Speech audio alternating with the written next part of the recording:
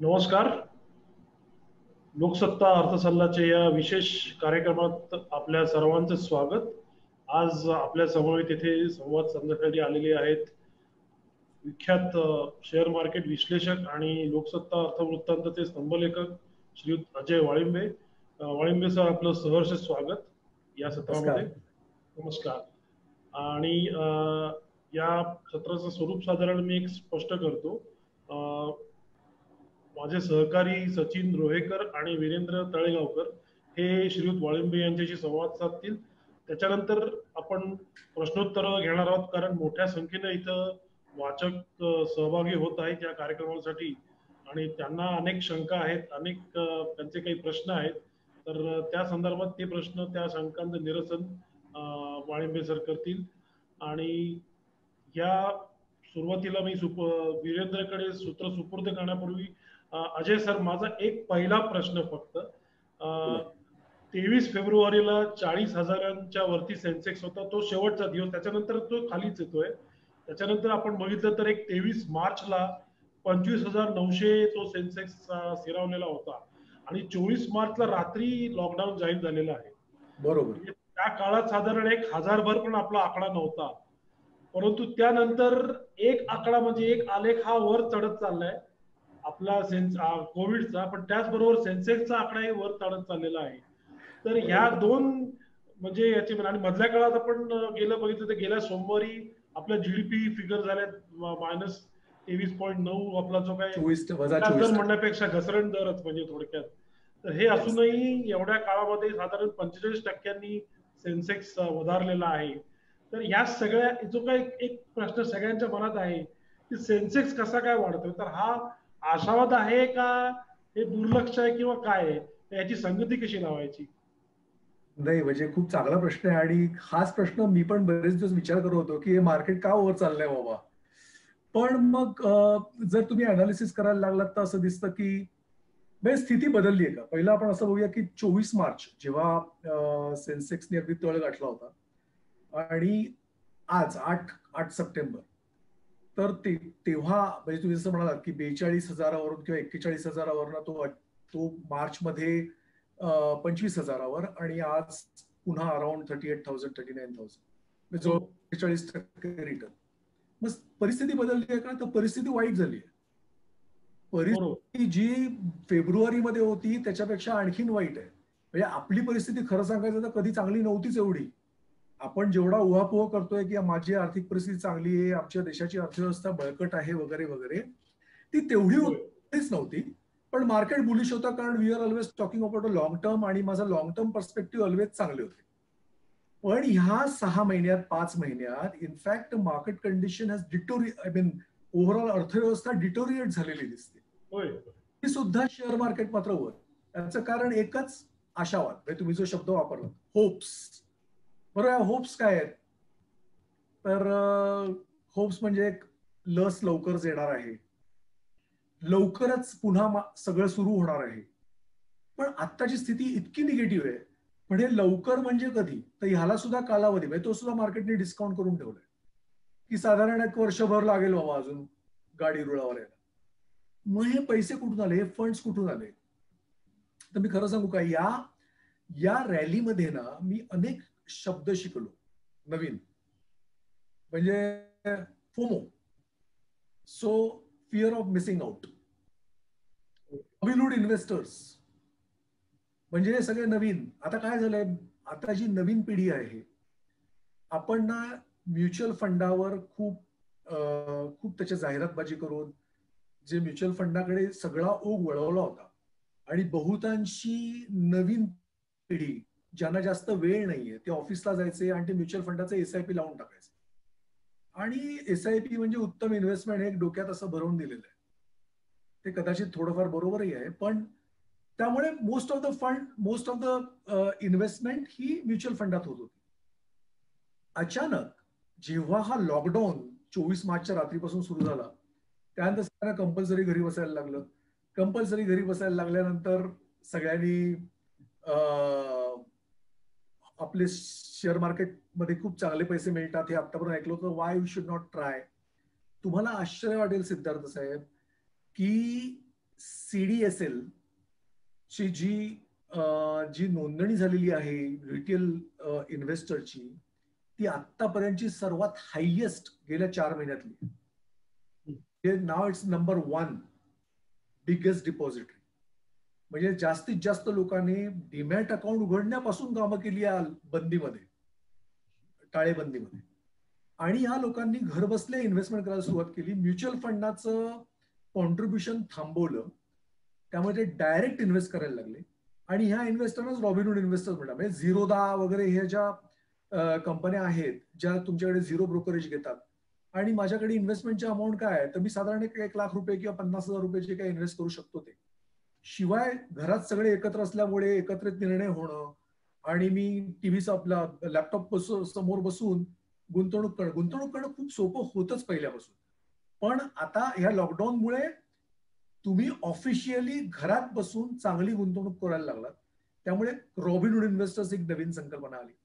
जसं मी सांगितलं फिअर ऑफ मिसिंग आउट हे दुसरं.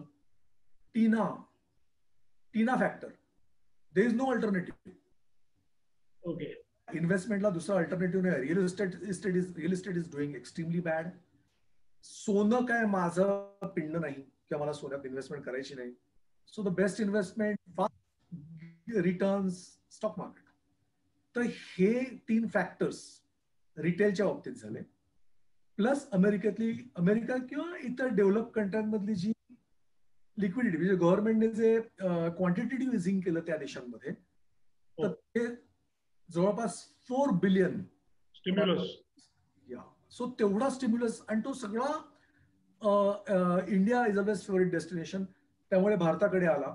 आणि ह्या लोकांनी पुन्हा एफ आय इन्व्हेस्टमेंट ही प्रचंड वाढली जी आठ जवळपास एट बिलियन काढून घेतले गेले होते मार्चच्या सुमारास. ते जवळपास चार बिलियन आता परत आले. सो ओव्हरऑल हे मला असं वाटतं की महत्त्वाचे फॅक्टर्स आहेत.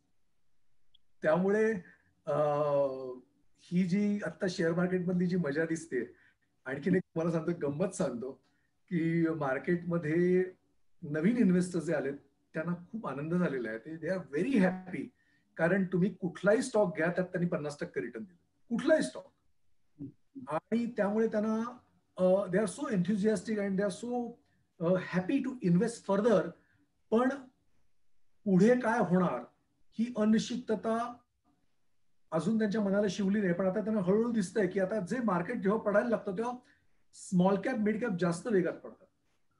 लार्ज कॅप जरा स्थिर असतात. तर ती सुरुवात मला वाटतं हळू होतीये. आणि बघूया काय होत आहे थोडासा सध्या जो काही निराशाजनक सध्या एकत्र वातावरण आहे आणि अनिश्चितता आहे तर त्या त्या एकंदर वातावरणामध्ये आपण या चर्चेची सुरुवात तुम्ही फारच आशादायी केलेली आहे तरी पॉझिटिव्ह केलेली आहे. त्याच्यामुळे त्याबद्दल खरंच चांगलं वाटतंय. मी इथून पुढे वीरेंद्रकडे सूत्र सुपूर्द करतो. वीरेंद्र प्लीज नक्कीच. आपण गेल्या काही दिवसात सोशल मीडियावर पण बघितलं असेल की ब्रोकर्सच्या ऍडव्हर्टाइजमेंट किंवा तुमचं डिमॅट खातं आहे का अशा पद्धतीने ऍडव्हर्टाईज आणि ब्रोकिंगकडे जाणारा गुंतवणूकदारांचा ओढा हा गेल्या अनेक महिन्यात वाढलेला आहे. म्हणजे जसं अजय सर म्हणाले की घरी बसल्यावर हेच एक दिसत होतं. सोशल मीडिया होतं कारण स्विगी आणि सगळंच बंद झालं होतं. त्यामुळे घरात करता करता हे सगळं बघायचं. पण सर तुम्ही जसं मला वाटतं आरबीआय गव्हर्नरचं स्टेटमेंट होतं की इकॉनॉमी आणि स्टॉक मार्केट यांचा काही संबंध नाहीये. ज्यावेळेस मार्च मध्ये मार्केट अगदी तळाला गेलं. वाटतं गुंतवणूकदारांनी पण हे हेरलं का की इकॉनॉमी तर ही चालणारच आहे. म्हणजे आता जीडीपीचे आकडे पण आले नव्हते जेव्हा बाजार रस्ता तळाला होता. पण तुम्ही म्हणताय तसा आशावाद एक होता की कुठेतरी आता आपल्याला नवीन इन्व्हेस्टमेंट म्हणजे करोना आणि टाळेबंदीने जे आर्थिक संकट प्रत्येक घराघरात उद्भवलं होतं त्या निमित्ताने का होईना एक आपल्याला गुंतवणुकीचा नवा मार्ग सापडेल असा हा एक नवा ओघ होता या क्षेत्राकडे येणारा. तर हा कालावधी आणि आता याच्यापुढे या वर्गासाठीच भविष्य तुम्ही कसं बघू इच्छिता? कसं आहे वीरेंद्र की तू जसं म्हणालास की आतापर्यंत एक आशावाद आहे आणि अजूनही आहे म्हणजे होताच आणि अजूनही आहे. पण मला असं वाटतं की याच्यामध्ये आपण नीट म्हणजे होलिस्टिक अप्रोच घ्यायला पाहिजे. म्हणजे संपूर्ण विचार करायला पाहिजे. की ठीक आहे म्हणजे मला आशावाद आहे त्या आणि आपण पॉझिटिव्ह राहायला पाहिजे. पण ही सगळी रिकव्हरी व्हायला म्हणजे कसं आहे आता आपण थोडस पाठी जाऊया. एक साधारण तीन वर्ष. जेव्हा डिमॉनिटायझेशन जाहीर झालं होतं तेव्हा आपल्या अर्थव्यवस्थेला एक खीळ लागली होती. ओके? म्हणजे आपण जी अर्थव्यवस्था व्यवस्थित चालली होती थोडी थांबली. कारण काही असेल आपण आता ते डिमॉनिटायझेशन बरोबर आहे चुकीच्यावर आपल्याला काही चर्चा करायची नाहीये. पण ती जी खीळ लागली त्यानंतर आपण ती पुन्हा उभारी घेत होतो. मग जीएसटी झालं.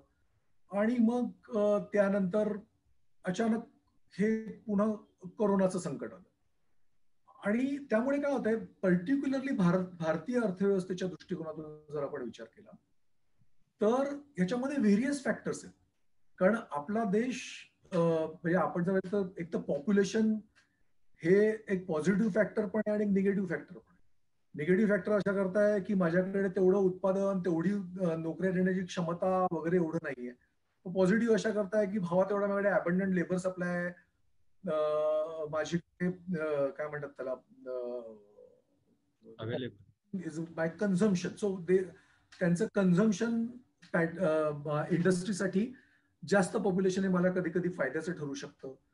तर हे दोन्ही फॅक्टर्स आहेत. आणि आता मी केवळ भारतीय अर्थव्यवस्थेचा जर विचार केला तर ऑलरेडी माझ्याकडे जी इकॉनॉमी आहे ती एवढी काही म्हणजे मी एक म्हणेन की आपण प्रगतीपथावर जाणारा देश एवढंच. मी आता संपूर्ण डेव्हलप्ड इकॉनॉमी आहे का तर नाही.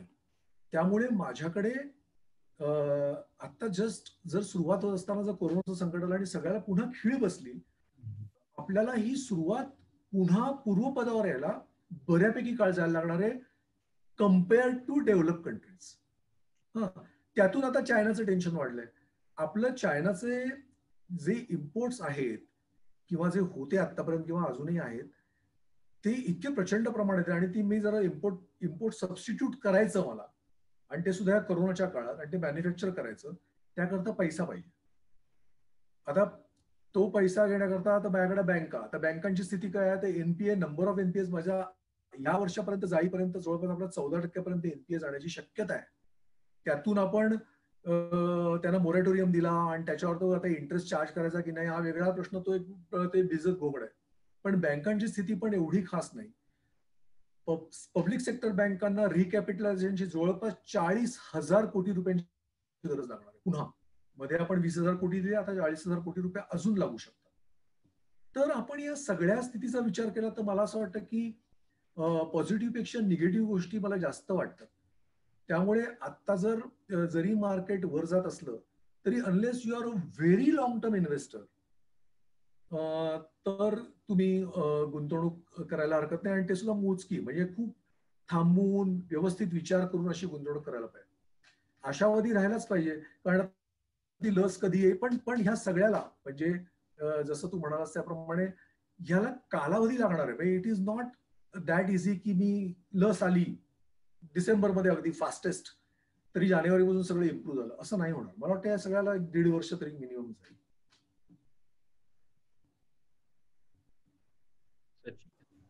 अजयजी मगाशी तुम्ही जे ट्रिगर्स सांगितलेत मार्केटच्या जे आत्ता जी ते सकारात्मक अवस्था आहे ती कायम राहण्यासाठी त्या ट्रिगर्समध्ये जर एफ आय इन्व्हेस्टमेंट ह्या जर एकमेव ट्रिगर पकडला आपण तर ती एफ आय कधी अनुभवाचे पाणी वाटलं कधी येतात आणि कधी बाहेर पडू शकतात. तर ते खरंच तेजीपूर्वक ठरतील काय असं वाटतंय? म्हणजे आत्ता जी बाजाराची जी पातळी जी आहे ती धोक्याची आहे असं वाटत नाही का? म्हणजे आशावाद जर जरी असला तरी. हो हो. म्हणजे आशावाद जर असला तरी ही पातळी मला धोक्याची वाटतेच. मला खरी पातळी म्हणजे सचिन साधी गोष्ट आहे की जेव्हा इंडेक्स तुझा पंचवीस हजारावर जातो आणि आता पुन्हा अडतीस हजारावर जातो म्हणजे याचा अर्थ धोक्याची पातळी नक्की कुठली? म्हणजे अडतीस हजार ही धोक्याची पातळी आहे बेचाळीस हजार पातळी आहे की पंचवीस हजार पातळी आहे? माझ्या मते जेव्हा कोरोनाची जी भीती पहिल्यांदा जी लागली होती आपल्याला जी वाटली होती आणि जेव्हा तो इंडेक्स पंचवीस हजारावर आला होता साडे पंचवीस हजारावर तर तर ती ती कदाचित योग्य पातळी असू शकते त्यावेळी कारण त्यावेळी तसं वाटलं आणि म्हणूनच लोकांनी किंवा एफ आय पैसे काढून घेतले आता एफ आयचे पैसे किंवा एफपीआयचे जे पैसे आपल्या बाजारात येत आहेत ते तू म्हणतोस तसं कधीही केव्हाही कोणी काढू शकतं. ही फॅक्ट आहे. पण पण मग असं आहे की मग दुसरा अल्टरनेटिव्ह काय म्हणजे टीना फॅक्टर मग दुसरं मी इन्व्हेस्ट कुठे करू? पण याच्यात पुन्हा आता कसं आहे आपण थोडे फॅक्टर्स पाहिले. जे पॉझिटिव्ह फॅक्टर काय असू शकतात असे जर आपण पाहिले तर आता जसं आपण सांगितलं की फार्मा क्षेत्राला थोडंफार बूस्ट मिळते कारण ते लसीकरणासाठी जे शोधतायत हो. सेकंड इज जसं इतर क्षेत्र. म्हणजे या आता टाळेबंदीमुळे जी काही इतर क्षेत्र उभारायला येऊ शकतात त्यामध्ये मी सांगेन ई कॉमर्स आहे. किंवा तुमचं artificial intelligence I T pharm pharma मी वगैरे सांगितलं. ते हे हे जे काही नवीन हे जे काही सेक्टर्स किंवा एफ एम सी जी या सेक्टर्सना थोडीफार डेफिनेटली बूस्ट मिळू शकते. पण अर्थ म्हणजे एफ आय किंवा एफ पी आय हे मला वाटतं आत्ताचा जो इन्फ्लो चालू आहे तो त्याच्यामध्ये आणखीन एक महत्त्वाचा मुद्दा म्हणजे अमेरिकेतली इलेक्शन्स तर आता जी अमेरिकेतली इलेक्शन्ससाठी ज्या एक असं म्हटलं जातं. म्हणजे मी याचा याला काही ठोस पुरावा आहे वगैरे असं म्हणणार नाही. पण जे असं म्हटलं जातं की अमेरिकेतलं मार्केट किंवा आता ही तेजी काय फक्त भारतात नाही सगळ्या जगभरात सगळीकड सगळीकडे सगळीकडची मार्केट्स वर मग ही मार्केट्स वर काय? तर अमेरिकेतले इलेक्शनचा खूप मोठा फॅक्टर याच्यामध्ये आहे. की तोपर्यंत आणि अमेरिका इज द बिगेस्ट आपण इन्व्हेस्टर म्हणूया. त्याच्यामुळे तो इंडेक्स जागतिक स्तरावर सगळ्याच याचा वर राहायला मदत झाली आहे. पण मला असं वाटतं की येत्या महिन्या दीड महिन्यात किंवा आता जी सुरुवात झाली ते हळूहळू ते पैसे काढायला सुरुवात झाली किंवा ते पैसे तसेच राहू शकतात. त्याच्या पुढे हे किती वाढणार हा इम्पॉर्टंट फॅक्टर आहे. कारण जर आपण पाहिलं तर जरी मार्केट वर असलं तरी रेव्हेन्यू म्हणजे बहुतांशी कंपनीज आम्ही फक्त नॉन फायनान्स कंपनीज घेतल्या. फायनान्स कंपनीज बाजूला ठेवूया आपण. नॉन फायनान्स कंपनीज घेतल्या तर फर्स्ट क्वार्टर जर जून एंडिंगचा आपण क्वार्टर पाहिलं. तर जवळपास रेव्हेन्यू मध्ये तीस टक्के फॉल आहे. आणि तसंच नेट प्रॉफिटमध्ये किंवा एबिटा लेवलला सुद्धा नव्वद टक्के फॉल आहे. जर एवढं असून सुद्धा तो पर्टिक्युलर स्टॉक केवळ आशेवर जर वर जात असेल तर हे कितपत खरं आहे? त्यामुळे मला असं वाटतं की हा केवळ म्हणजे तू म्हणतोस तसं हे अळवावरचं पाणी वगैरे खरंच असू शकतं. आपल्याला हे थांबवूनच व्यवस्थित अभ्यास करूनच आणि मगच हे गुंतवणुकीचा मार्ग निवडायला पाहिजे. आता आशावादाची चर्चा करतोच आपण. त्याच वेळी जर नोव्हेंबर पर्यंत लस येईल अशी शक्यता दिसून येते. म्हणजे आज अनेक जण लसीच्या लसीबाबत घाई करताना दिसत आहेत. तर नोव्हेंबर आणि दिवाळी असं दोन्ही एकत्र करून आपल्याला डबल धमाका अनुभवता येईल असं अशी शक्यता दिसून येते का? हा डबल धमाका पण तो डबल वार सारखा असेल. म्हणजे लस आली ना की त्यावेळी पहिले काही दिवस तो आपण जसं दिवाळीत डबल वार लावतो तो कसा असतो? पहिल्यांदा फुटतो आणि वर जाऊन एक फुटतो. पण तो फुटल्यानंतर खाली पडतो. सो लस आल्यावर पण तसंच होईल की लस आल्यानंतर पहिल्यांदा खूप आनंदाने मार्केट खूप जोरात वर जाईल. आणि अर्थातच नंतर या सगळ्याला खूप वेळ लागणार आहे हे सगळ्या समजून आल्यानंतर पुन्हा मार्केट खाली. त्यामुळे ह्या लसीचा इफेक्ट हा टेंपररी राहील असं मला वाटतं कारण लस आली तरी ते सगळं आपल्यापर्यंत पोचायला किंवा इतर राष्ट्रांपर्यंत पोचायला या हो. सगळ्यांना खूप वेळ आणखीन एक महत्त्वाचा फॅक्टर सचिन इथे लक्षात घ्यायला पाहिजे की आपल्याकडे जो स्प्रेड होता कोविडचा जो. सिटीमध्ये आधी होता आणि गावामध्ये नव्हता. आता जर तुम्ही सत्तेमधलीच बातमी आहे किंवा आपण जे बघतोय किंवा काल मी पाहिलं कुठेतरी की आता गावागावात स्प्रेड व्हायला लागलाय. त्यामुळे आपल्याला आता जी सेफ डेस्टिनेशन वाटत होती तिथे पण कोविड स्प्रेड व्हायला आणि आपला तर वेग प्रचंड प्रचंड जास्त आहे. त्यामुळे हा डबल धमाका वगैरे हा टेंपररी असेल मी एक सेक्टरचा तुम्ही आता एक उल्लेख केलात. म्हणजे एफएमसीजी फार्मा किंवा ई कॉमर्स ही त्यातल्या त्यात सध्या सनशाईन म्हणावे तशी सेक्टर्स आहे. हो. तर तसंच ऑटो सेक्टर विषयी तुमचं एकंदर आउटलुक काय आहे? म्हणजे कारण ऑटो सुद्धा आता सेल्स त्यांचे ऑगस्टचे सेल्स दर इम्प्रुव्हिंग इनफॅक्ट काही कंपन्यांचे तर नाईन्टीन कम्पॅरेटिव्हली ट्वेंटी नाईन्टीनच्या ऑगस्ट म्हणजे सेल्स आणि uh, गेल्या महिन्यातली विक्री. तर ह्याच्यात uh, बऱ्यापैकी विक्री का गेल्या महिन्यात दिसते आहे. कम्पॅरेटिव्हली जून आणि uh, मे ऑब्विसली काही झालेलं नव्हतं. परंतु अनेक कंपन्या आपल्याकडे आहेत की ज्या इम्प्रुव्हमेंट सेल्समध्ये खूप दाखवलेलं आहे. तर त्यांच्या स्टॉक्स विषयी काही आपल्याला काही तुमचा आउटलुक काय आहे? आता एक वाचकांचे सुद्धा प्रश्न सुरू झालेत. म्हणजे आता आपण नुकतीच सुरुवात केली आहे पण प्रश्नाचं स्वरूप बघता अगदी दो दो सुरुवात झाली असं म्हणता येईल आपल्याला. आणि एका वाचकाने सुद्धा असाच प्रश्न विचारला आहे. Fate of OMCs in way of e vehicles म्हणजे चंद्रशेखर कुलकर्णींचा प्रश्न आहे तो. ई व्हेकल्स पाहता एकूण ऑटो शेअर्सचं भवितव्य काय असेल? आणि त्यांचं तुमचं व्ह्यू काय? टाटा मोटर्सवर असा एक प्रश्न शिवमूर्ती भडंगे यांनी विचारला आहे. तर आपण अधूनमधून प्रश्नही विचार लोकांचे प्रश्नही घेऊ. पण एकच वाचकांना एक एवढीच विनंती आहे की हे सेशन जे आपले फक्त इक्विटी इन्व्हेस्टमेंटबद्दल आहे म्युच्युअल फंड इन्व्हेस्टमेंट बद्दलचे प्रश्न जे येत आहेत त्याचे उत्तर आपल्याला कार्यक्रम घेऊ. स्वतंत्रपणे आपण बरोबर.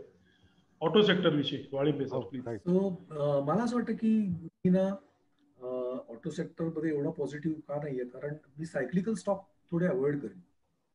तर सायक्लिकल स्टॉक म्हणजे आधी मुळात थोडंसं समजावून सांगतो. सायक्लिकल स्टॉक म्हणजे जे इकॉनॉमीवर आपल्या अवलंबून असतं. म्हणजे जशी इकॉनॉमी वर जाते त्याप्रमाणे हे स्टॉक वर जातात इकॉनॉमी खाली येते त्याप्रमाणे. कारण ती डायरेक्टली इकॉनॉमीशी रिलेटेड असतात तुमची पर्चेसिंग पॉवर वाढते इकॉनॉमी इम्प्रूव्ह झाली की वगैरे. सो म्हणजे उदाहरणार्थ बँकिंग फायनान्स तुमचं कॅपिटल गुड्स किंवा ऑटोमोबाईल हे सगळे सायक्लिकल स्टॉक्स आहेत. तर मी आता सिक्लिकल स्टॉकला एवढं महत्त्व देत नाही. अगदी ही व्हेकल असलं तरी.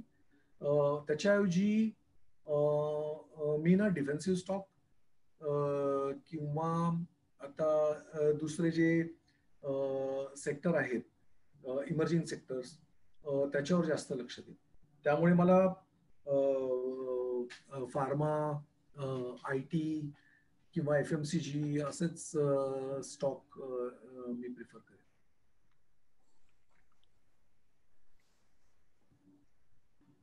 ऑटोला जोडूनच रिअल इस्टेट संदर्भातला एक आहे. म्हणजे घर आणि गाडी हे सामान्य गुंतवणूकदारांचं नेहमीच स्वप्न राहिलं आहे. तर असंच काही क्षेत्र आहे ज्याला फटका बसलाय ते म्हणजे रिअल इस्टेट स्थावर मालमत्ता क्षेत्र.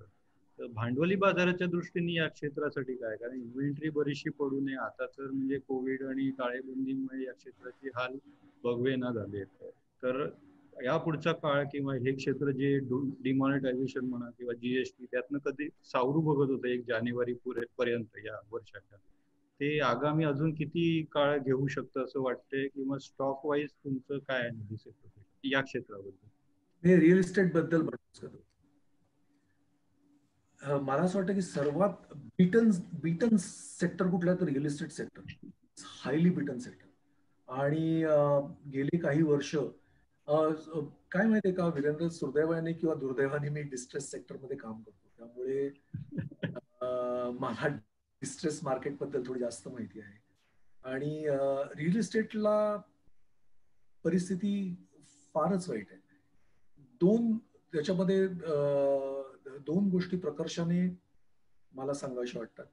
एकतर ह्या कंपन्यांचे प्रोजेक्ट्स आहेत ना ते अर्धे अडकले कारण त्यांना फायनान्स वेळेवर मिळालं नाही. आधी त्यांना इन्फ्रास्ट्रक्चरची त्यांना सेक्टरमध्ये त्यांना गणलं जात होतं. नंतर त्यांना इन्फ्रास्ट्रक्चरमध्ये गणलं गणायचं की नाही याच्यावर थोडा घोळ झाला.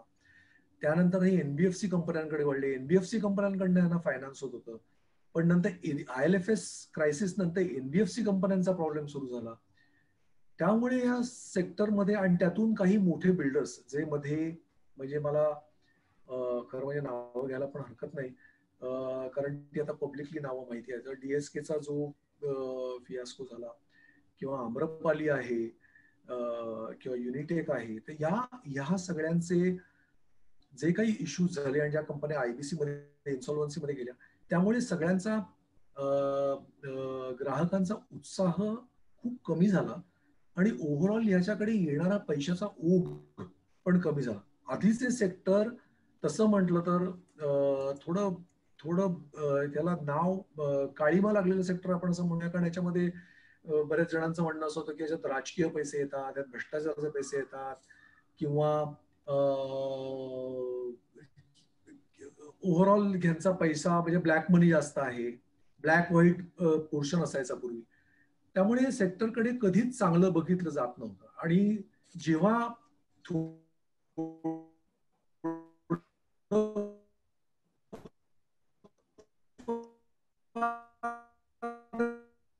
उभारणी दुपारी लिहायत होतो तेव्हा पुन्हा फायनान्सचा सगळ्यात विश्वास संपादन करण्याकरता क्वालिटी आणि याच्यावर भर द्यायला पाहिजे.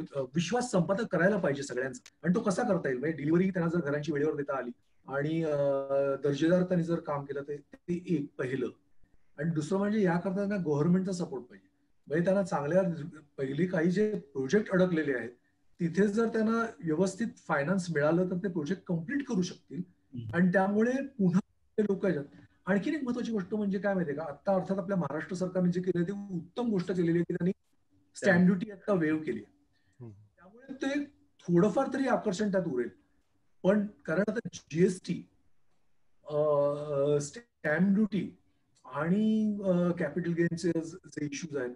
सो ओव्हरऑल या सेक्टरकडे इन्व्हेस्टमेंटचा ओढा कमी झालेला दिसतो मला ओव्हरऑल आणि त्यामुळे याला वर यायला थोडा वेळ जायला लागेल. Unless government takes some good steps आणि मला असं वाटतं की सरकारने याच्याकडे खरंच लवकरात लवकर गरज देणं लक्ष देणं नितांत गरजेचं आहे.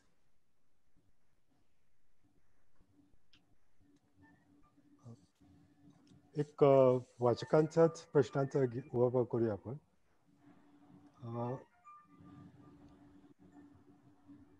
आत्ता जो बाजाराची जी स्थिती आहे त्याच्यामध्ये कोणाचा वाटा कसा आहे असं तुम्हाला वाटतं? म्हणजे रिटेल इन्व्हेस्टरचा वाटा आहे एफ आय आय की domestic investment domestic institutional investment D I I नाही मला असं वाटतं की याच्यात सगळ्यांचाच वाटा आहे. म्हणजे it's not only foreign investors पण सगळेच. म्हणजे जसं मी सांगितलं की रॉबिनहुड इन्व्हेस्टर्स आहेत डोमेस्टिक इन्व्हेस्टर्स आहेत बऱ्याच जणांनी याच्यात पैसे टाकायला सुरुवात केली जसं रिटेल इन्व्हेस्टरने सांगितलं.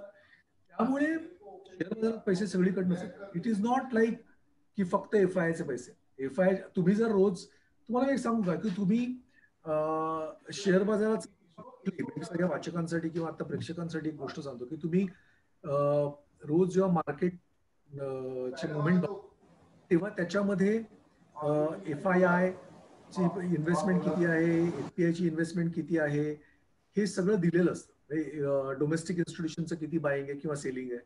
तर मला असं वाटतं की तुम्ही हे सगळं बघायला पाहिजे. तसंच अनेक गोष्टी आहेत ना म्हणजे ओव्हरऑल तुम्ही जर एखाद्या व्हॉल्यूम किती आहे त्यातले डिलिव्हरेबल्स किती आहेत त्यात बायर्स जास्त आहेत की सेलर्स जास्त आहेत हे सगळेच प्रकार.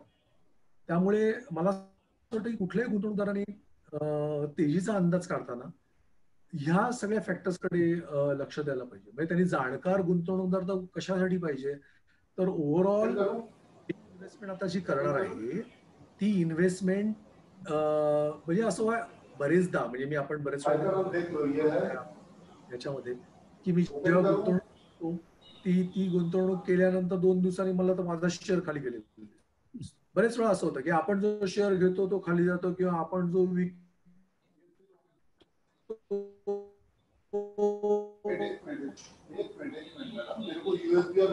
तो है तर हे असं का होतं? याचं कारण आपल्याला डिस्टर्बन्स येतो थोडासा राईट हो. टेक्निकलचा ट्रेंड पाहिला. तर आपल्याला कळ कळू शकतं की हे मार्केट कसं है निर्णय अ, सचिन सचिन मला वाटतं बॅकग्राऊंड साऊंड आहे का तो म्यूट करलाय तर मग हा वाळीने सर हा। सो तेच म्हणजे गुंतवणूकदारांनी असा अभ्यास करून जर केलं तर अं, साधारण मार्केटचा ट्रेंड नक्की कळू शकतो आणि मग कोणाची गुंतवणूक किती आहे हेही कळू शकतो. पण आता एफ आय ची गुंतवणूक अं, थोडी वाढली ही थोडी गोष्ट खरी अ, अजयजी एक आणखी एक पिक्युलियर प्रश्न आहे की बाजार जेव्हा तेजीत असतो तेव्हाच लोक लोकांकडून चुका होताना दिसतात घोड चुका होताना दिसतात. आणि नंतर मग पश्चातापाची वेळ येते आणि शेअर बाजार म्हणजे सट्टा बाजार जुगार म्हणून ते लोक कायमची पाठ फिरवतात त्याच्या. तर अशा वेळी सावधगिरी बाळगा म्हणून जो सल्ला दिला जातो ते सावधगिरी म्हणजे नेमकं काय? म्हणजे त्याचे काय घटक नियम पैलू काय असतील ते तुम्ही सांगू शकाल? बरोबर आहे बरोबर सचिन अगदी मस्त प्रश्न आहे कारण सगळे बरेच जण म्हणतात you should be very careful सावधगिरी बाळगा सावध पण सावधगिरी बाळगा म्हणजे मी नक्की काय करू म्हणजे मार्केटमध्ये इन्व्हेस्टमेंटच नको करू का? किंवा मग मी की तुम्ही म्हणता लॉंग टर्म इन्व्हेस्टर राहा आणि मग एकीकडे म्हणता स्टॉप लॉस करा. म्हणजे काय? बरेच प्रश्न असू शकतात. आणि ते अगदी बरोबर आहे. तर मी सावधगिरी बाळगा म्हणजे मी असं सांगेन की नाही पहिलं मी तुला तेजीचं उत्तर आणि तेजीत इन्व्हेस्टर कशा चुका करतात ते मी सांगतो. कसं आहे की गुंतवणुकीची वेळ. ओके. आता गुंतवणुकीची वेळ अगदी बरोबर मला समजेल जसं मी काही तज्ज्ञ असतो अशातला भाग नाही. कुठलाही गुंतवणूक पण त्याला ओव्हरऑल मार्केटचा ट्रेंड तर नक्की कळू शकतो. कारण तुम्ही जर त्याचं एखाद्या पर्टिक्युलर स्टॉकमध्ये तुम्हाला इंटरेस्ट असेल त्याचं त्याला मी डेली मुव्हिंग ऍव्हरेज म्हणजे डीएमए म्हणतात त्याला. Two hundred DMA hundred DMA तसा तुम्ही स्टॉकचा तर त्याचं मुव्हिंग ऍव्हरेज बघू शकता. आणि तुम्हाला कळतो की त्या पर्टिक्युलर स्टॉकचा कल कसा आहे. स्टॉक मार्केटचा एकंदरीत कल कसा आहे. आणि जागतिक बाजाराचा कल कसा आहे. हे तीन फॅक्टर्स आहेत. मला आवडलेला एक स्टॉक एक बॉम्बे स्टॉक एक्सचेंज किंवा मुंबई स्टॉक एक्सचेंज आणि जागतिक बाजार. तुम्ही जर नीट पाहिलं तर तुम्हाला असं कळेल की बरेच जण की रात्री बघतात की अरे बाबा आज युएस मार्केट कसं आहे. ओके आणि मग युएस मार्केट प्रमाणे आपल्याला ट्रेंड कळतो की उद्या मार्केट कसं उघडणार आहे? ते पॉझिटिव्ह आहे की निगेटिव्ह आहे? मग त्यात युएस प्लस युरोप युरोप पण बघेन. म्हणजे मी डॅक्स बघेन काही म्हणजे हँगसेंग बघेन. आणि त्याप्रमाणे मग मी दुसऱ्या दिवशी माझे निर्णय घेईन. आणि हे बऱ्यापैकी खरं ठरतं हा म्हणजे. असं नाही की युएस मार्केटचं तुम्हाला युएस मार्केट अप आहे आणि आपलं मार्केट डाऊन आहे असं फार कमी वेळा झालंय. इनफॅक्ट सगळे कल हे आपल्याला तिकडूनच दिसतात. ही फॅक्ट आता मी खबरदारी घ्यायची म्हणजे काय करायचं? तर आता जेव्हा मी जसं सांगितलं की आता मार्केट कंटिन्युअस वर आहे. आणि याच्यामध्ये मला एक प्रकारचा मी सांगतो की काही चुका आपण कशा करतो? तर आपल्याला अं, एकतर ना हे नवीन इन्व्हेस्टरसाठी खास की तुम्ही आता समजा एखाद्याने तेवीस मार्च चोवीस मार्चला इन्व्हेस्टमेंट केली किंवा एप्रिलमध्ये इन्व्हेस्टमेंट केली आणि आता त्यांना फिनॉमिनल रिटर्न दिसत असतील. तर हे रिटर्न दिसत असताना मग त्यांचा त्यांच्यात ऑटोमॅटिक एक प्रकारचा ओव्हर कॉन्फिडन्स आहे आणि मग त्याला वाटायला लागतं की मी जे करतोय ते सगळं बरोबर आहे आणि याच्यात मी पैसे कमवू शकतो. मी असे अनेक जण पाहिलेत की ज्यांना स्टॉक मार्केट हे म्हणजे मी रेग्युलर पैसे कमवण्याचं साधन आहे आणि मी रेग्युलर नोकरीसारखं मी सकाळी साडे नऊ ते साडेतीन मार्केट समोर बसणार मी जे काय सगळं करणार आणि त्याप्रमाणे ट्रेड करणार. याच्यामध्ये मी सगळ्यांना हाच सल्ला देईन की तुम्ही केवळ म्हणजे तुम्ही जर एकमेव कमवते असाल घरात आणि तुमच्यावर काही डिपेंडंट असतील तर हे सगळं करायच्या आधी तुम्ही शंभर वेळा विचार करा. की तुम्ही एक काही ठराविक रक्कम बाजूला काढून ठेवली आणि मग स्टॉक मार्केटसाठी कमवायला तुम्ही असं करताय. याचं कारण असं की बरेच वेळा nobody can predict the market हे क्रिकेटच्या मॅच सारखं आहे. तुम्हाला एवढं प्रिडिक्शन आहे. ज्योतिषी भीतीशी कोणी काही सांगू शकत नाही कोणी काही करू शकत नाही. अगदी मोठे मोठे इकॉनॉमिस्ट सुद्धा. तुम्ही बऱ्याचशा चॅनलवर बघत असाल जे लोक चर्चा करतात तुम्हाला सांगतात की हा शेअर पर्टिक्युलरली वर्क आहे किंवा मार्केट वर्क आहे. तेच जण पुन्हा येऊन मार्केट खाली काय आहे तितक्याच ठामपणे सांगतात. म्हणजे काय? तर मार्केट आणि त्याला प्रत्येकाला रिझन्स देतात. ओके म्हणजे आता मला अचानक परवा जेव्हा जे मार्केट पडलं तेव्हा त्यांनी जे मला रिझन दिलं ते जे रिझन मी ऐकलं की नाव मार्केट हॅज फटिक फटिक म्हणजे आता मार्केट खूप दमायला लागलेलं आहे. किंवा मी आता जस्ट एक नवीन एक संध्या मी ऐकली की FOBI what is FOBI F O B I so fear of being invested म्हणून आता लोक बाहेर पडायला लागले. म्हणजे मी जी रिझन दिली जी सी जी fear of missing out FOMO तसं फोबी आलं. Fear of being invested so I am getting out so psychological factors हे कुठल्याही गुंतवणूकदाराचे एवढे असतात. आणि त्यामुळे मला असं वाटतं की तो गुंतवणूकदार चुका करायला लागतो. मी जसं मी तुम्हाला सांगितलं की ओव्हर कॉन्फिडन्स दुसरं म्हणजे तुम्हाला स्वतः एक कन्व्हिक्शन पाहिजे. कुठल्याही गुंतवणुकीत गुंतवणूक कराल तुम्ही कन्व्हिक तुम्ही स्वतः कन्व्हिन्स्ड आहात का हे विचारायला पाहिजे. स्वतःलाच. म्हणजे उदाहरणार्थ मी आता समजा एखादी एक एक शेअर सांगितलं. जस्ट एक्झाम्पल देतोय मी. एक समजा वोल्टास. असाच. आणि तुम्ही यातले ज्या काही इन्व्हेस्टर आहेत समजा पन्नास टक्के इन्व्हेस्टर आहेत. त्याने आपल्या जाऊन ब्लाय ब्लाइंडली कारण कोणतरी म्हणालं वोल्टास घ्या म्हणून मी वोल्टास घेतली.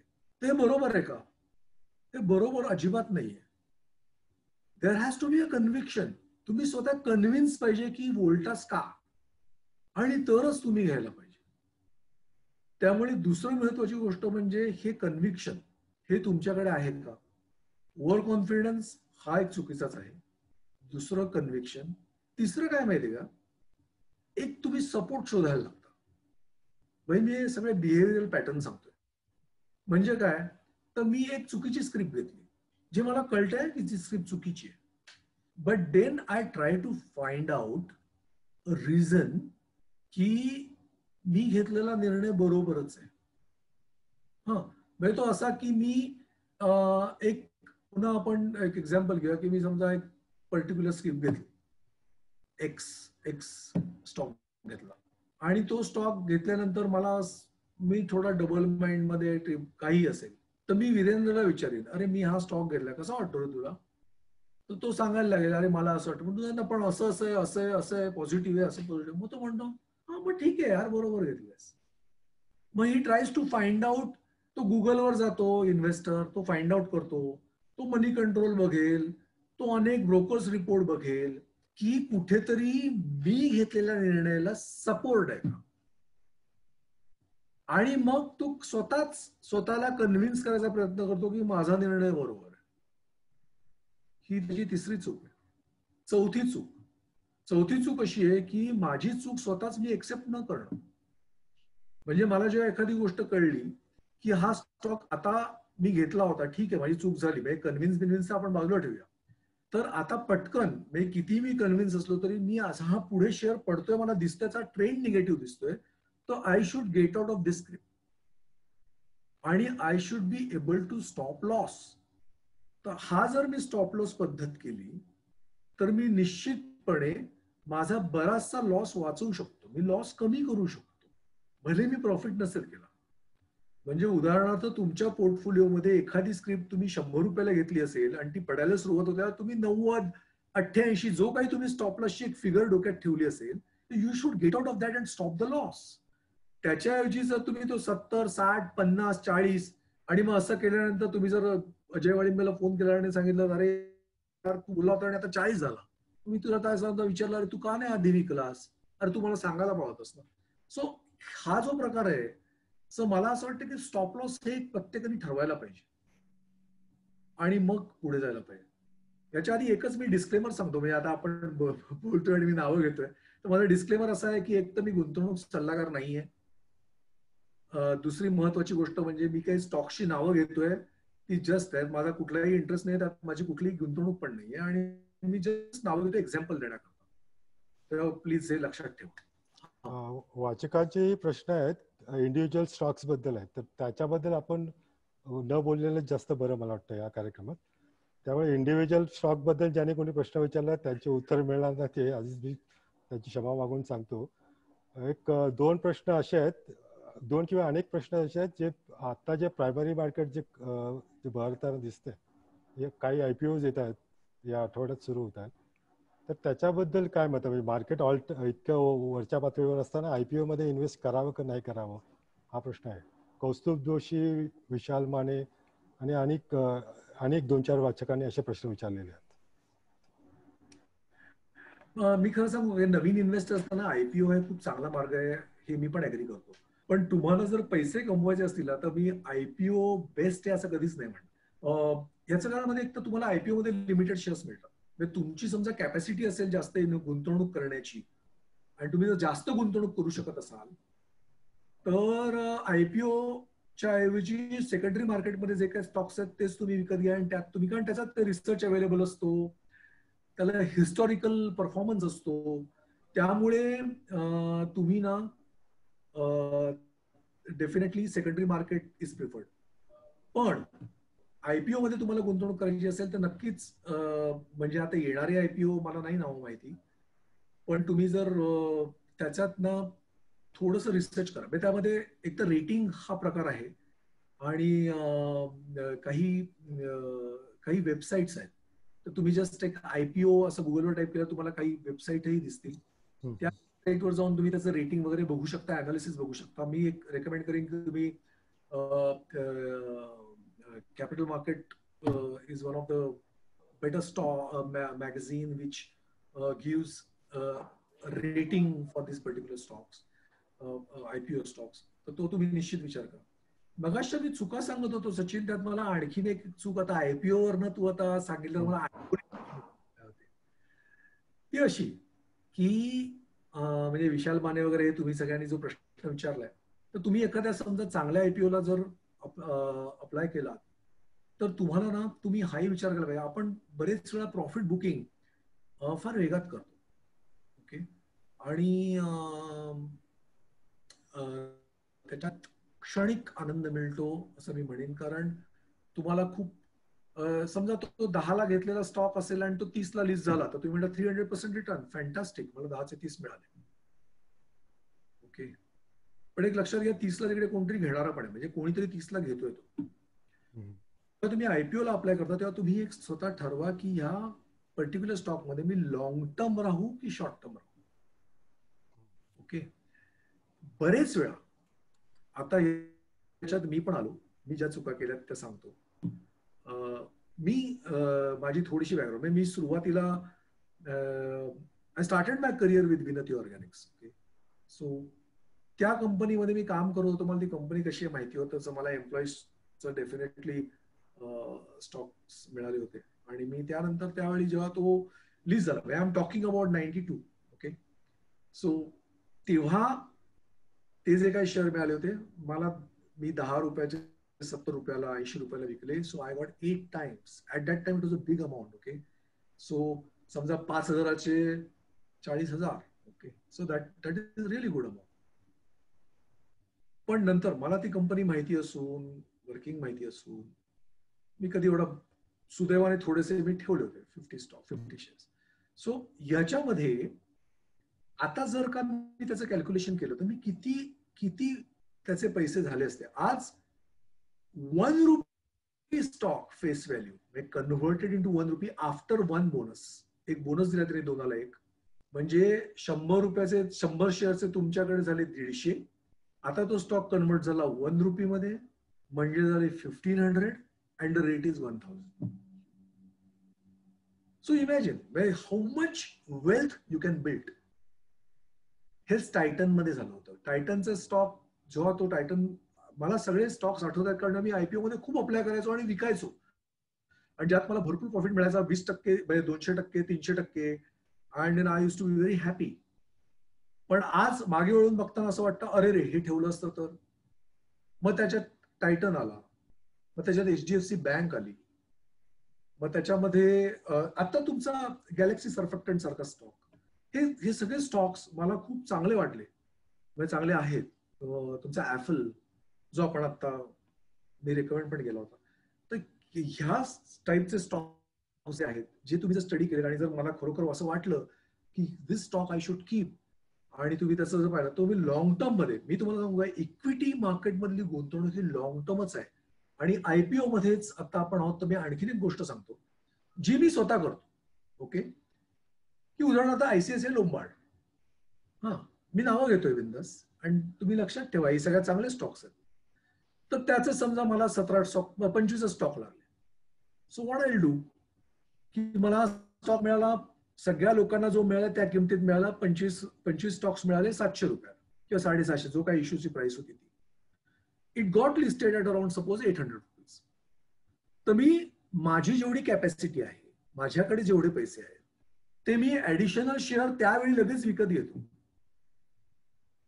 ओके म्हणजे तुम्हाला तो स्टॉक लिस्ट झाल्या झाल्या थोडा सेटल व्हायला वेळ लागतो त्याला पंधरा वीस दिवस. सेटल झाल्यानंतर तुम्ही तो स्टॉक घ्या. इफ यू आर कन्व्हिन्स्ड मी तुम्हाला पुन्हा म्हणाले there should be a conviction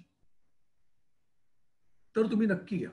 आणि then you will see the fun मला अजून स्टॉक आठवतो तो टीव्हीएस सुझुकीचा म्हणजे त्यावेळी that stock was known as TVS Suzuki now it is TVS motors so तो असाच किती वर्ष दहा रुपयाला असा पडला डॉक्टर रेड्डीज लॅबोरेटरीज आहे. अरविंद. हे बरेच स्टॉक्स ज्या ज्या स्वस्तात ज्या रेटला दिले ते आता खूप स्वस्त वाटतात. So you should be IPO मधला गेन आहे. तो तुम्ही पटकन विकू नका जर चांगला शेअर असेल तर. तुम्ही ते ऍड करा आणि keep for long term equity investment is always for long term keep this in mind Walimbe sir एक फक्त जरा थोडासा नॉन टेक्निकल प्रश्न थोडासा म्हणजे कदाचित जरा मागासलेला वाटेल. हा माहितीचा जो काही इतका प्रचंड धबधबा आपल्यावर येत असतो म्हणजे समजा आता नवीन गुंतवणूकदार असतील किंवा जे नव्याने याच्यामध्ये शिरलेले आहेत किंवा तरुण आहेत सध्या आणि त्यांच्याकडे आता थोडी स्पेरेबल इन्कम आहे तर त्यांच्यासाठी म्हणजे एक प्रश्न मी फक्त नेहमी असा विचारला होतो की इतकी प्रचंड माहिती सध्या आहे आपल्याकडे इतकी प्रचंड आपल्याकडनं म्हणजे वेगवेगळ्या साईट्स आणि हे वगैरे वगैरे. तर त्याच्यात तुम्ही बुडू नये त्या माहितीच्या धबधब्यामध्ये किंवा माहितीच्या त्या सगळ्या महासागरात.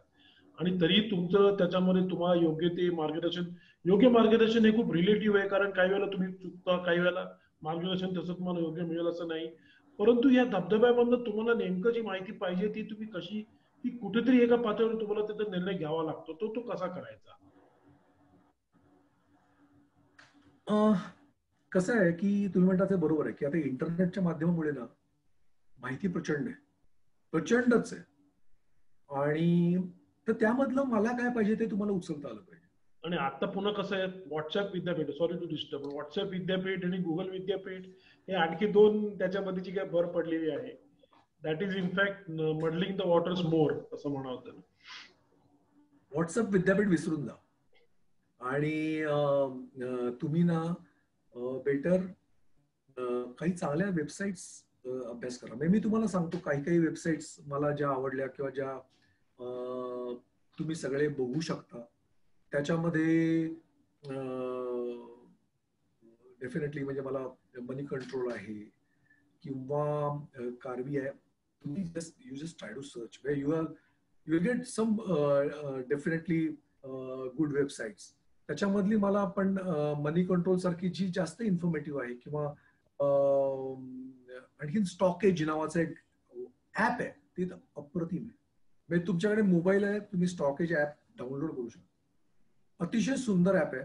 आणि त्यात तुम्हाला तुम्ही स्वतःचे व्हर्च्युअल पोर्टफोलिओ तयार करू शकता. आणि बघू शकता. ट्रेंडी लाईन नावाचं एक वेबसाईट आहे. ती बघा. आणि स्क्रीनर स्क्रीनर तर माझी एकदम फेवरेट आहे. स्क्रीनर डॉट इन म्हणून एक एक वेबसाईट आहे.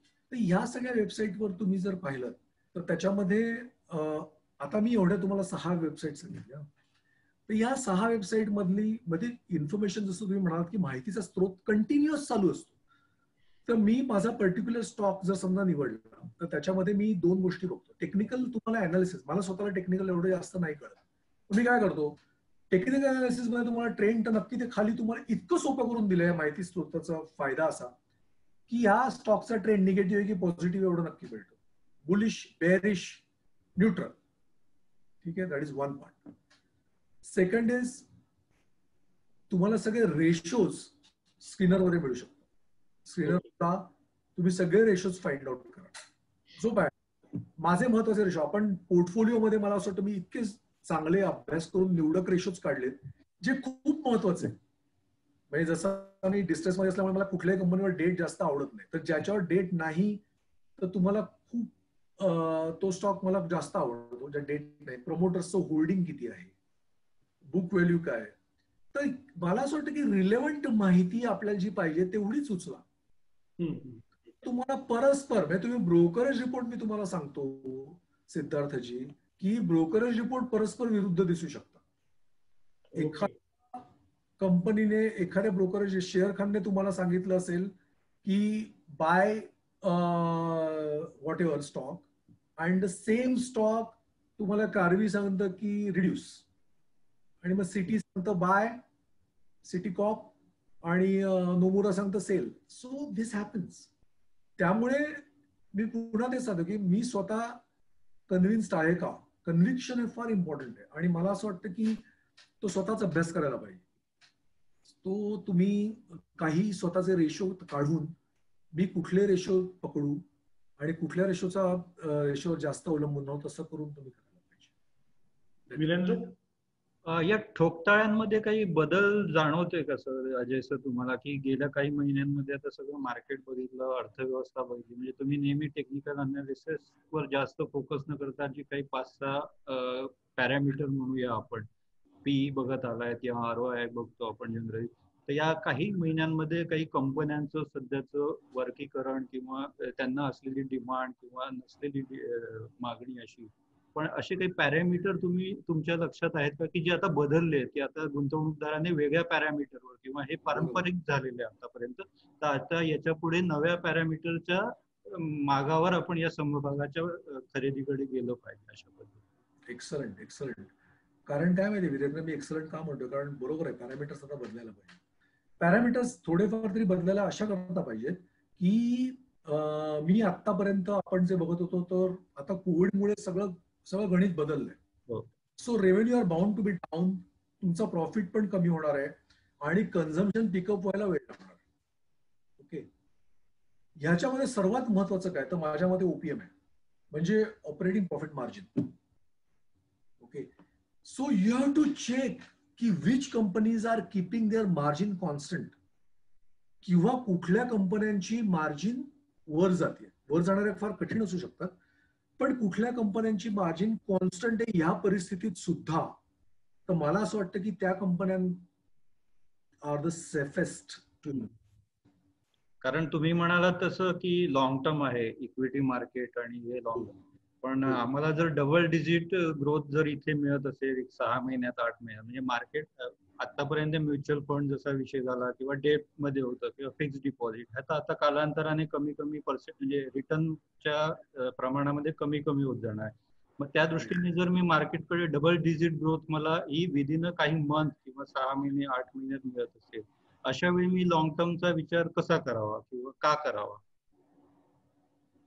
मला असं वाटतं की लॉंग टर्मचा विचार करताना एक तर म्हणजे तू जसं म्हणालास कारण हुरहुर तर राहणारच आहे ना की या काळात मी विक ठेवले नाहीत किंवा विकून टाकले त्या काळात. जो एक रुपयाचा शेअर चार रुपये हा होणारच आहे. इंडेक्स जसा शंभरपासून सुरू झाला तो बेचाळीस अठ्ठावीस काय झाला. तर ही हुरहुर कायमचीच आहे. पण मग असं गणित कसं होईल? की हा लॉंग टर्मच पर्याय आहे. की त्याला आणखी लॉंग टर्मसाठी काही बॅरिगेट्स आहे का की आपण जसं गुंतवणुकीचे बास्केट बनवतो. त्या पद्धतीने असं आपल्याला बनवता येईल? नाही मला असं वाटतं की आपण ना जसं मी बघासपासून म्हणतो की मला जे एखादी स्टॉक पर्टिक्युलर वाटला की ह्याच्यामध्ये लॉंग टर्म इन्व्हेस्टमेंटच आवश्यक आहे. तर याच्यामध्ये आपल्याला त्या पर्टिक्युलर सेक्टरचा पण विचार करायला पाहिजे. ओके? आणि तो कुठल्या टाईपचा इन्व्हेस्टर्स आहे इन्व्हेस्टर आहे? तशा त्याच्यावर पण ते बरंच अवलंबून आहे. म्हणजे मी कॉन्ट्रॅरियन इन्व्हेस्टर आहे असं मी म्हणतो. मी कॉन्ट्रॅरियन इन्व्हेस्टर आहे म्हणजे मी काय करतो? तर मला जेव्हा एखादा सेक्टर खूप डाऊन आहे असं वाटतं ओके तेव्हा मला असं वाटतं की this is a right time to invest into this sector because this is cyclical आणि या काही दिवसानंतर हा सेक्टर पुन्हा वर येणार आहे. हा. म्हणजे जर पाहिलं तर गेले तीन वर्ष जवळपास pharma sector was doing very bad. त्यांची सिंगल डिजिट ग्रोथच होती. किंवा अजूनही मी म्हणणार म्हणणार नाही की लगेच ती डबल डिजिट होणार आहे. पण आता अचानक फार्माचं महत्त्व वाढलं आणि फार्मा स्टार्टेड मुव्हिंग ठीक आहे? तर तसं मला एक तर त्या सेक्टरबद्दल थोडंफार ज्ञान असणं आवश्यक आहे. आणि मग मी कंपनी स्पेसिफिक जातो की या कंपनीचं प्रोडक्शन काय आहे? काय काय कुठल्या टाईपचं प्रोडक्ट ती कंपनी तयार करते? आता आता आपण एक एक्झाम्पल घेऊया. तुझा प्रश्न आहे तर आपण एक मोठं एक्झाम्पल घेऊया व्यवस्थित एक्झाम्पल घेऊया. तर असं की आता आपल्याकडे काय फॅक्टर असेल हा. तर आता आपल्या गव्हर्नमेंटने सांगितलं तुम्ही आत्मनिर्भर बना. So you have to be independent म्हणजे तुम्ही जास्त कोणाकडनं घेऊ नका स्वतःच स्वतः मॅन्युफॅक्चर करा. चायना इम्पोर्ट बॅन करायचं आपलं चालल्याचं आपण बरेच गोष्टी करतोय की चायनाकडनं मला काही नकोय. म्हणजे आपल्याला इम्पोर्ट सबस्टिट्यूट माहिती पाहिजे मग ते इंडोनेशिया असेल कोरिया असेल कुठली इतर कंट्री असेल. ठीक आहे? हा दुसरा फॅक्टर म्हणजे आत्मनिर्भर इम्पोर्ट कोणाकरता करत होतो तो पण इम्पोर्ट तो पर्टिक्युलर कंट्री हा? थर्ड डोमेस्टिक डिमांड की या गोष्टीला डिमांड किती आहे? डोमेस्टिक फोर्थ याच्यात एक्सपोर्ट मला चौथं याच्यामध्ये कुठल्याही कंट्रीसाठी मी एक्सपोर्ट करू शकतो. कारण एक्सपोर्टला जे बूस्ट आता गव्हर्नमेंट देते ते. ओके फिफ्थ पॉइंट आत्ता या क्षेत्रात किती जण आहेत? कॉम्पिटिशन मगाशी ऑटोमोबाईल बद्दल आपण बोलत होतो. ऑटोमोबाईलला अचानक थोडी मंदी येण्याचं कारण काय? ते इलेक्ट्रिक व्हेकल्स आहे. म्हणजे जे आता आपण इव्हन त्या दोन गोष्टी होत्या. ते भारत फोर नंतर भारत सिक्स वर आपण जम्प केली. त्याचा कॅपिटल कॉस्ट सगळ्यांची वाढली. आणि दुसरं इलेक्ट्रिक व्हेकल्स ह्या दोन्हीमुळे त्यांना पुन्हा कॅपिटल एक्सपेंडिचर त्यासाठी जास्त करावं लागणार आहे वगैरे वगैरे. आणि बाकी काही कंपन्यांचा प्रश्नच वेगळा होता. कारण त्यांनी जी परदेशी कंपन्या विकत घेतल्या त्यामुळे त्यांचं डेट वाढलं वगैरे वगैरे. आणि अर्थात ती सायकलिकल नेचर असल्यामुळे आता तो डिमांड म्हणजे मी किती विकत घेऊ काय विकत घेऊ. आणि कमर्शियल व्हेकलचा सेक्टर तर असा आहे की जो it is directly proportionate to your economy okay. त्यामुळे मी एखादा स्टॉक किती लॉंग टर्म आणि कधी घ्यायचा हा आपल्याला निश्चितपणे ठरवता येतो. आणि तो किती काळ ठेवायचा ही ठरवता येतो. जसं कधी कधी तुम्हाला ती संधी मिळते हा. पाच वर्षापूर्वी. आपले दोन हजार तू तुम्ही जर आपला दोन हजार बाराचा पोर्टफोलिओ पाहिला जो आपण केला होता त्या दोन हजार बारा चा पोर्टफोलिओ एक्स्ट्रॉर्डिनरी परफॉर्मन्स देण्याचं कारण हे एकच आहे की आपण निवडलेले हे सगळे स्टॉक हे खूप व्हॅल्यू स्टॉक होते. हा. सो त्या स्टॉकमध्ये ती अपेक्ष म्हणजे ती तेवढी अपेक्षित घोडदौड ती अपेक्षितच होती. आपल्याला ब्लूचिप किंवा जे व्हॅल्यू स्टॉक जे मिळाले ते त्यात याच्यामध्ये मी एक तुम्हाला गोष्ट सांगतो. दोन गोष्टी आहेत. ग्रोथ स्टॉक आणि व्हॅल्यू स्टॉक यातला फरक समजून घेणं आवश्यक आहे. So what is growth stock तर ग्रोथ स्टॉक म्हणजे एखादी कंपनी जी ग्रोईंग कंपनी आहे. जसं आपण विनंतीचं उदाहरण दिलं की एकोणीसशे ब्याण्णव मधली company today it has grown to such an extent की microcap micro small cap company has become a mid cap or is going towards large cap so that is a growth growth stock value stock value stock म्हणजे एखादी चांगली company जी already settled आहे त्या कंपनीचा share तुम्हाला स्वस्तात मिळतोय. जसा चोवीस मार्चची अपॉर्च्युनिटी होती जेव्हा आयटीसी तुम्हाला एकशे चाळीस रुपयाला मिळत ओके किंवा टीसीएस सोळाशेला मिळतो that is value stock that is value stock buying आणि growth stock is a stock growth stock which is going to grow in years so growth स्टॉकची story remains intact in any case for coming years stock may vary म्हणजे जो चोवीस मार्चला मला value stock वाटत असेल तो आज कदाचित नाही वाटणार कारण त्याची किंमत पुन्हा ज्या होत्या त्या लेवलला आली. So it may not be value stock ना but the growth stock remains a growth stock तसं मी जेव्हा लॉंग टर्म गुंतवणुकीसाठी विचार करतो तेव्हा खूप संयम म्हणजे मला वाटतं स्टॉक मार्केटमध्ये आज सर्वात महत्त्वाचा आहे संयम. तुम्ही विचार करा एखाद्यानी आयशरचा स्टॉक घेतला असेल किंवा विनती ऑर्गॅनिकचा स्टॉक घेतला असेल किंवा असेच स्टॉक आणि कित्येक वर्ष तो स्टॉक आपल्याकडे ठेवला तरी किती चढ उतार पाहिले असतील त्या पर्टिक्युलर इन्व्हेस्टरने पण त्याने तो स्टॉक विकला नसेल. अनेक त्याला कितीतरी वेळा त्याचं मन झालं असेल की अरे आता मला एट हंड्रेड पर्सेंट मिळतात should I get out but the sale आणि आज सोळाशे टक्के आहेत किंवा दोन हजार टक्के. त्यामुळे पेशन्स इज एक्स्ट्रीमली इम्पॉर्टंट म्हणजे तुझं जे उत्तर आहे की मला लॉंग टर्म स्टॉक शोधताना मी तू स्टॉकमध्ये म्हणजे कंपनी ग्रोथ आहे का त्या कंपनीमध्ये याच्यामध्ये टेक्निकल अनालिसिस तुम्हाला जास्त हेल्प नाही करणार. याच्यात तुम्हाला फंडामेंटल अनालिसिस करायला पाहिजे.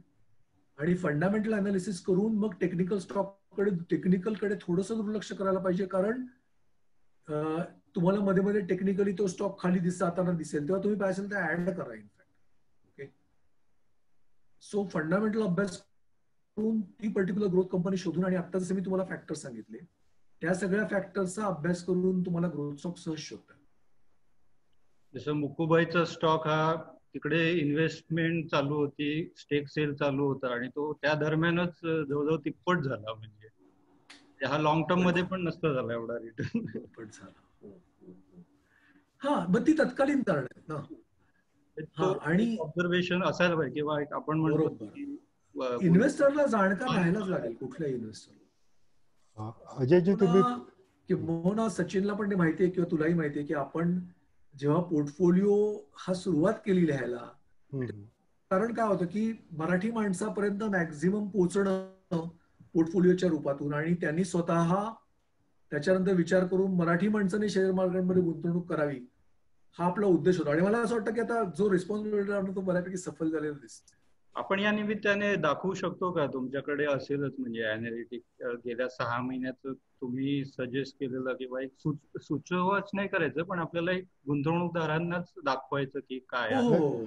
अगदी काढायचा प्रयत्न करू. वाचकांनी जे काय पाठवलंय त्याच्यामध्ये अनेकांनी तुम्ही सुचवलेले स्टॉक आणि त्याचा आज त्याला झालेला फायदा.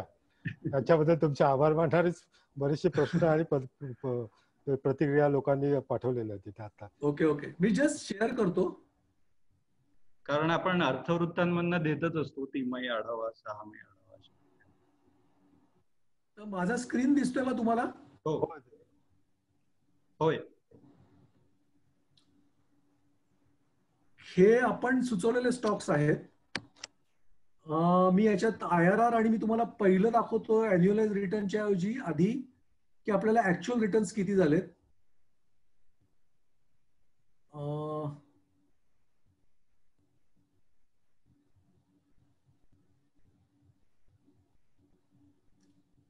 हे आपले सुचवलेले स्टॉक्स आहेत आणि तुम्हाला दिसत आहेत स्क्रीनवर तुमच्या.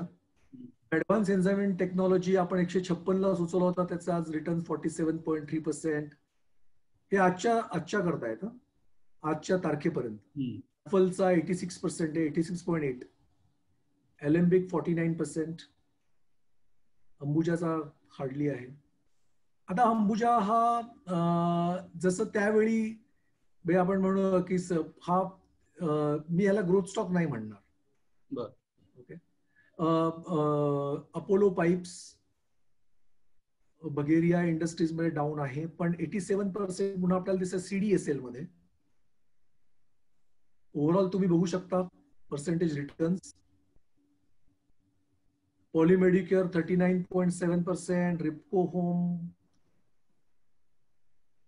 thirty three point seven Sanofi India TCS अठ्ठावीस टक्के थायरोकेअर त्रेचाळीस टक्के आणि काही निगेटिव्ह आहेत. ओल्ड टाइम ट्रान्सफॉर्मर्स अकरा टक्के आणि किर्लोस्कोर्निमॅटिक वीस टक्के इरकॉन पाच टक्के वगैरे वगैरे.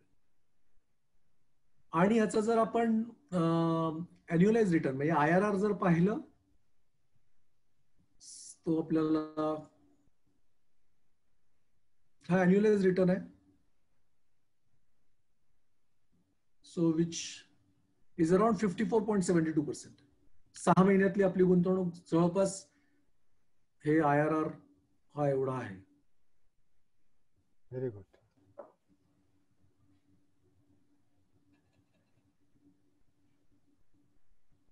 मला असं वाटतं की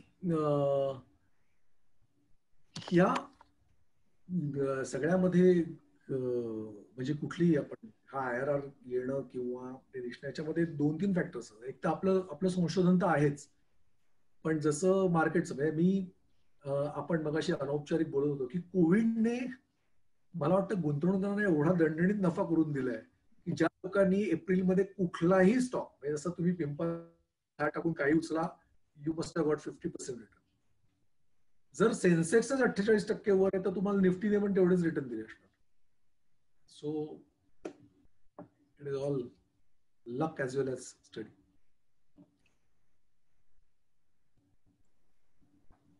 एक प्रश्नही भरपूर येत आहेत.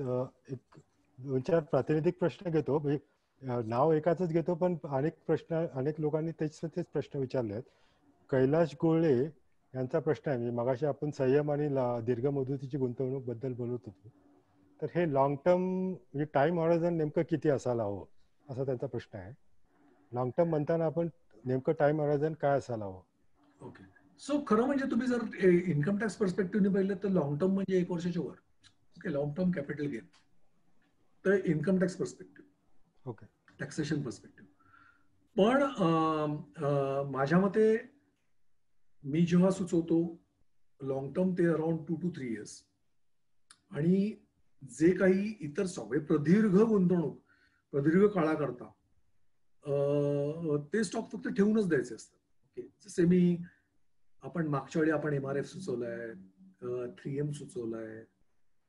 तर अशा टाईपचे जे स्टॉक आहेत जे you just have to keep मग त्याला बंधन नाही वेळेचं. पण otherwise long term is between two two three years असं. माझं परिमाण आहे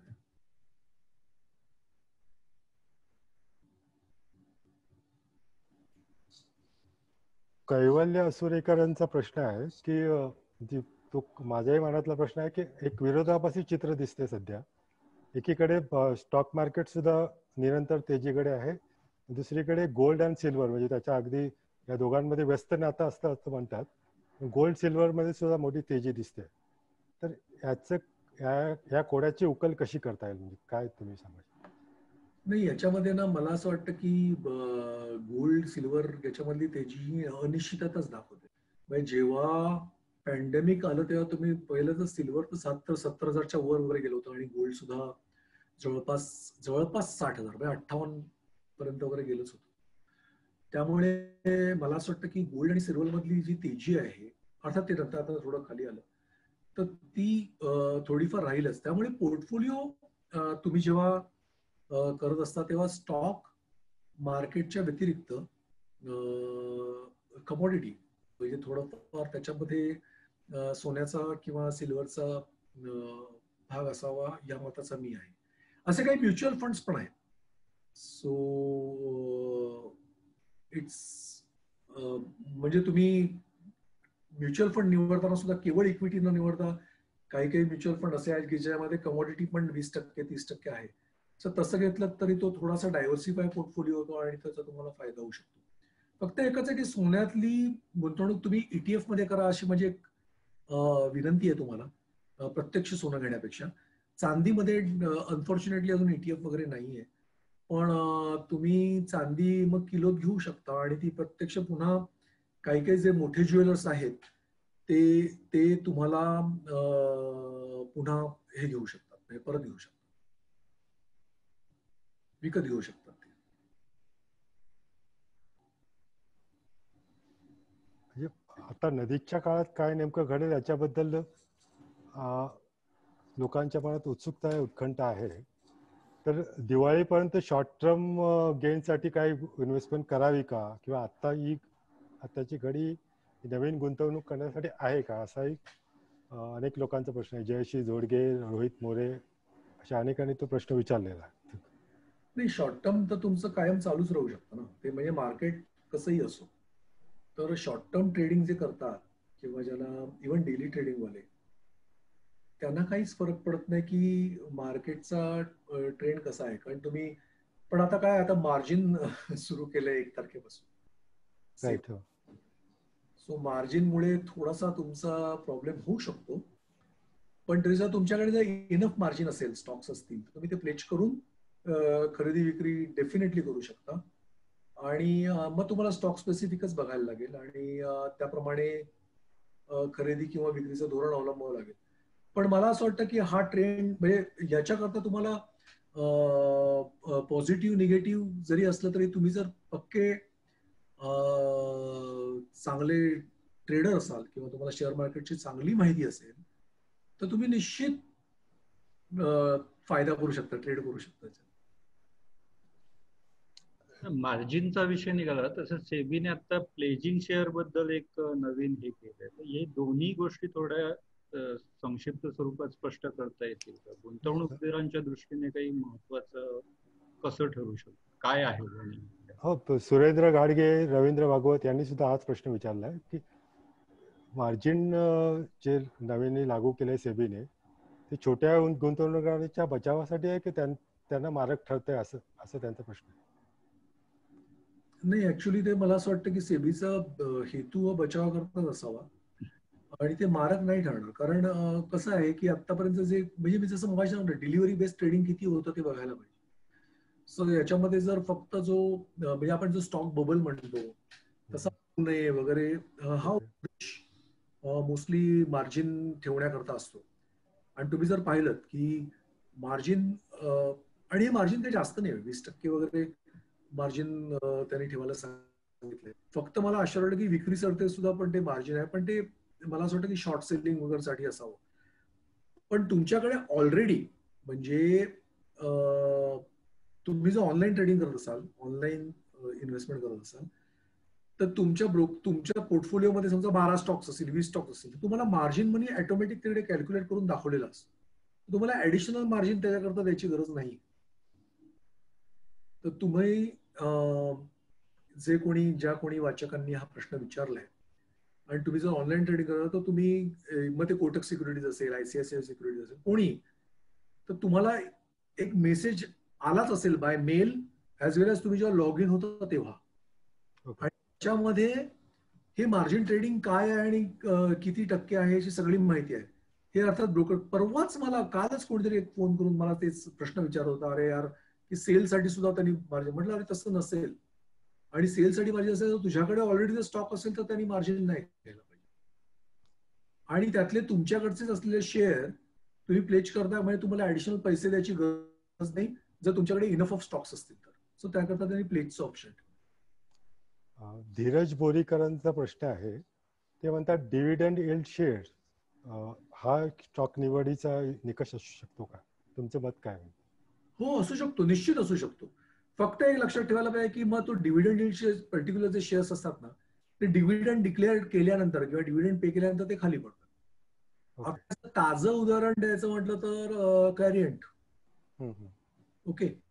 सो क्लॅरियंटनी त्यांची काही प्रॉपर्टी विकली वगैरे वगैरे आणि जे काही केलं. आणि त्यानंतर त्यांनी per share per share I am saying चाळीस रुपयेचा डिव्हिडंड दिला. पर शेअर चाळीस रुपये. So it's a quite a huge amount आणि जेव्हा एवढा पर्सेंटेज तुम्हाला मिळतात तेव्हा नॅचरली तो स्टॉक तेवढ्या नंतर तो खाली येतो. चाळीस नाही मला तो खूप जास्त होता. I don't recall it exactly but amount was quite huge जवळपास मला वाटतं पर शेअर त्यांनी दोनशे रुपये वगैरे दिला होता. आणि त्यामुळे त्या शेअरची प्राइस पण तशीच वाढली तर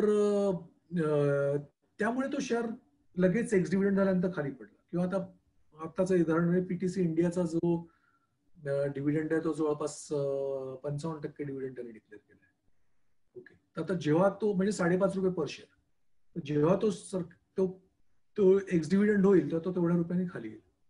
पण तुम्ही जर टायर टाईपची जर गुंतवणूक जर तर काही लोकांचं तर असू शकतं की त्यांना डिव्हिडंड डील वाले शेअर्स आवडतात. तर तुम्ही तसे शेअर शोधू शकता आणि ठेवू शकता. फक्त हे लक्षात ठेवा की डिव्हिडंड डिक्लेअर केल्यानंतर एक्स डिव्हिडंड जेव्हा होतो तो शेअर प्राइस पुन्हा खाली होते पण ती नंतर स्थिर होते. मे बी महिन्याभरानंतर तो पुन्हा तो पुन्हा वर जाऊ शकतो.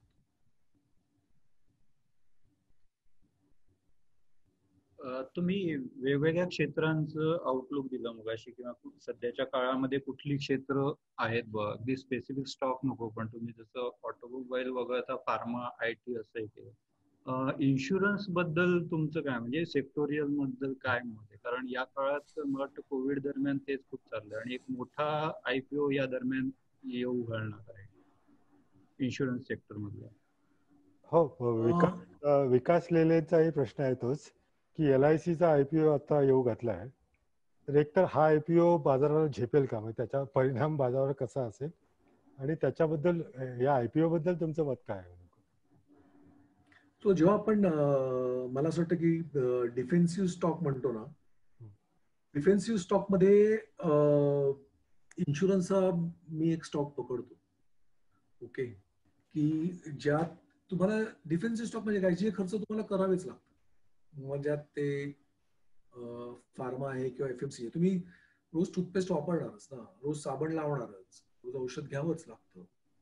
तसं इन्शुरन्स काहींसाठी मस्ट असतो. त्यामुळे इन्शुरन्स हा डिफेन्सिव्ह स्टॉक आहे असं मी म्हणतो. आणि मला असं वाटतं की इन्शुरन्स स्टॉकचं भवितव्य निश्चित चांगलं आहे कारण तुम्ही जर प्रगत राष्ट्रांच्या तुलनेत आपली इन्शुरन्स पेनिट्रेशन पाहिलं तर ते खूप कमी आहे. त्यामुळे आपल्याला इन्शुरन्स वाढवण्याचा म्हणजे आपल्याकडे इन्शुरन्स संपूर्ण लोकांपर्यंत पोहोचवायचा प्रचंड स्कोप आहे. जसं स्टील कन्झम्पशन आपल्याकडे पर पर्सन पर कॅपिटा जे आपण म्हणतो ते प्रचंड कमी आहे.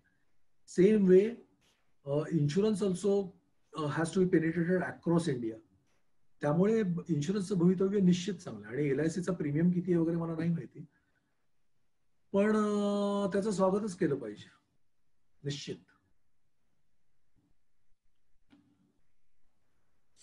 आता सध्याच्या घडीला गुंतवणूक करावी अशी सेफेस्ट उद्योग क्षेत्र किंवा large cap mid cap small cap यापैकी काय निवडावं असं तुम्ही सुचवाल?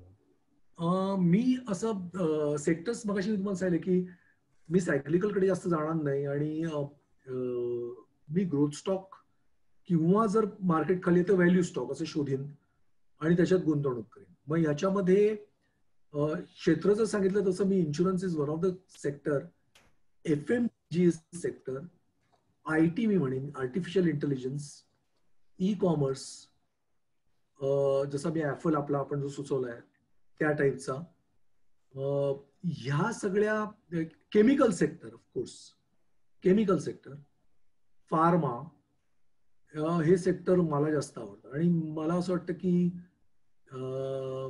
तुम्हाला जेव्हा जेव्हा चान्स मिळेल तेव्हा या सेक्टरमध्ये जर तुम्ही गुंतवणूक केलीत म्हणजे जर मार्केट आपलं खरोखरच मध्ये मध्ये जरी डिप्स घेतले तर तुम्हाला या सेक्टरमधली गुंतवणूक निश्चित फायदेशीर ठरेल आणि of course it has to be long term किंवा प्रदीर्घ असं म्हणतो.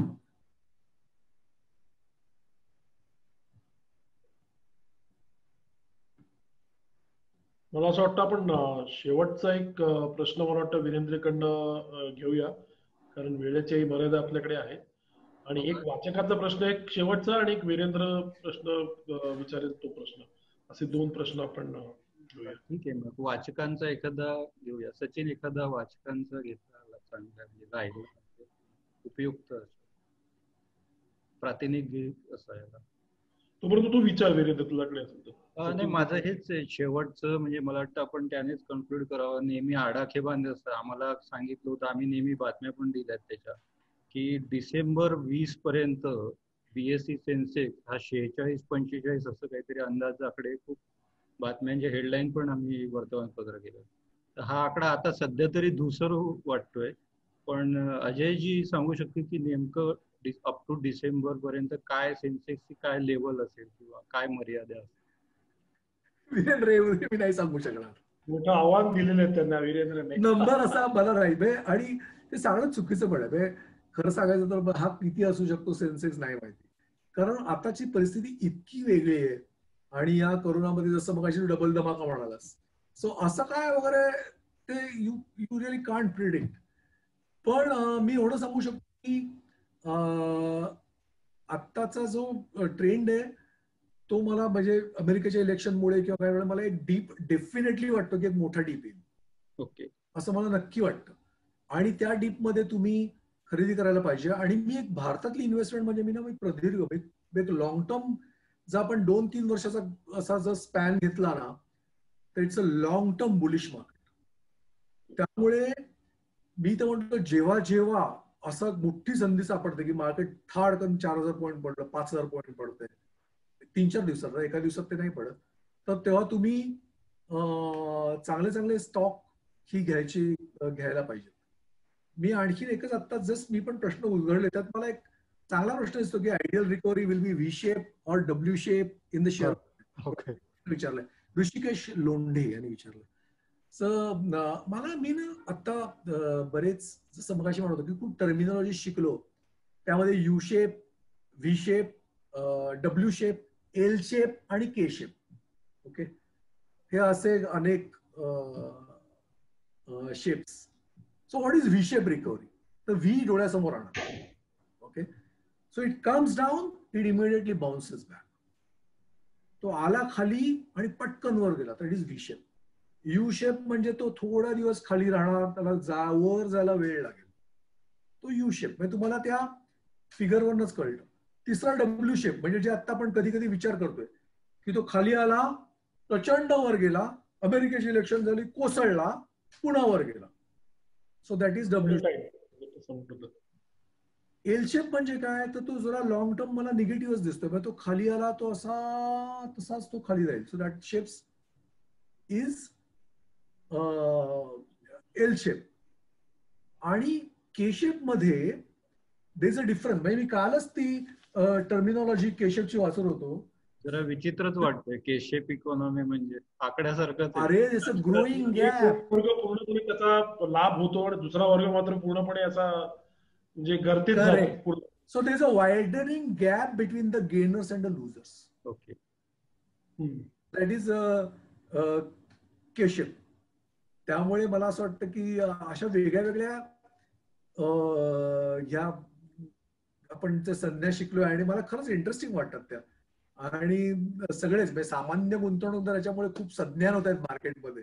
So it's overall good time मला वाटतं कोविडने बऱ्याच जणांना खूप चांगलं चांगलं दिलं. पाहिजे एकीकडे निगेटिव्ह आपण बोलतोच आहोत पण जे गुंतवणूकदार आहेत त्या सगळ्यांनी व्यवस्थित अ, फायदा करून घेतला असं मला वाटतं. म्हणजे आपण एमटी माइंड डेव्हिल्स वर्कशॉप म्हणतो त्याच्याऐवजी एमटी माइंडचे थोडंसं कन्स्ट्रक्टिव्ह वर्कशॉप झालेलं. आहे. क्रिएटिव्ह वर्कशॉपही झालेलं आहे त्या रॉबिनहुड हे रॉबिनहुड इन्व्हेस्टर्स नी मजा केली आणि मला असं वाटतं या सगळे यंग जनरेशन फक्त म्हणजे रिटेल इन्व्हेस्टर वाढण्याचं ते एक कारण असावं का? म्हणजे की मोठ्या प्रमाणात जे रिटेल इन्व्हेस्टर वाढलेले दिसतात.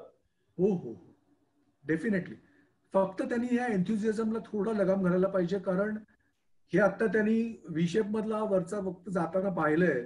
So when it becomes W be very careful अशाच एका रॉबिनहुड रॉबिनहुड इन्व्हेस्टरचा एक प्रश्न घेऊया आपण. मला वाटतं अशोक जोशी रा अं, अशोक जोशी राजेंद्र पाटील यांनी प्रश्न विचारलाय की आत्ताच्या अस्थिरतेच्या स्थितीत जर प्रॉफिट बुकिंग करायचं झालं तर नफ्याचं काय मार्जिन ठेवावं? किती टक्के घेतलं की आपल्याला तो पुरेसा वाटेल? हा खरं तर हे- हे- अपेक्षा प्रश्न आहे. खूप खूप खूप सब्जेक्टिव्ह आहे हा.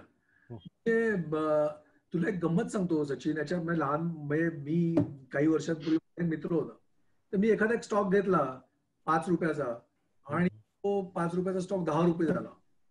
तर मी म्हटलं तो वाढणार आहे. तर हा मला पर्सेंटेजमध्ये सांगायचा सांगायचं अरे hundred percent gain in eight days dells विकून टाक. ओके मग तोच स्टॉक नंतर पंचवीस रुपये झाला होता पण. सो तो पर्सेंटेजमध्ये जर तुम्ही गेन बघायला गेलात ना कधी कधी तर ते आपल्याला खूप अट्रॅक्टिव्ह वाटतं. यात पुन्हा तुम्हाला शॉर्ट टर्म कॅपिटल गेन हा पण लक्षात ठेवायला पाहिजे. ओके तो तुम्हाला कापणारच पंधरा टक्के. सो हो, मला असं वाटतं की हे खूप व्यक्तिसापेक्ष जसं सचिन तू म्हणतोस तसं. पण एक पंचवीस टक्के मी मी स्वतःच पंचवीस टक्के पकडतो शॉर्ट टर्म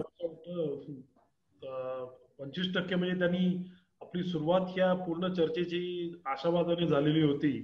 आणि जवळपास एक एक तास वीस मिनिटं साधारण ही चर्चा आपली सुरू आहे. तर दरम्यानच्या काळात संयम प्रतीक्षा असे काही टप्पे आपण बघितले. आणि शेवट हा सावधगिरीने अजय सरांनी केलेला आहे. तर मला वाटतं कुठल्याही शेअर गुंतवणुकीचे साधारण असेच टप्पे असावेत किंवा हे फॅक्टर्स त्याच्यामध्ये महत्त्वाचे असावेत. आशावाद संयम प्रतीक्षा आणि सावधगिरी. त्याच्यानंतर तुम्ही थोडेसे तुमच्याकडे काही मार्जिन असेल किंवा हे असेल तर तुम्ही खेळू शकता थोडं धाडस दाखवू शकता.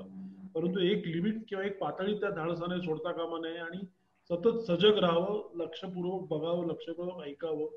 आणि ह्याच हे सगळे या चर्चेचं मर्म हे मला हे दिसतंय. तर अजय वाळिंबे आपल्याकडे आज तुम्ही आला तुम्ही लोकसत्तामध्ये भेटीला येतच असता वाचकांच्या त्यामुळे अपरिचित असे तुमची काही नाहीच आहे त्याच्यामुळे आपल्या घरातलेच आमच्या कुटुंबातलाच एक भाग आहात तुम्ही. तर आपण इथं आलात आणि इतक्या अतिशय छान अशी म्हणजे अनौपचारिक पद्धतीने सुद्धा तरी पण मौलिक माहिती आपल्याकडून मिळाली. याच्याबद्दल मी लोकसत्ताच्या वतीने आपले आभार मानतो.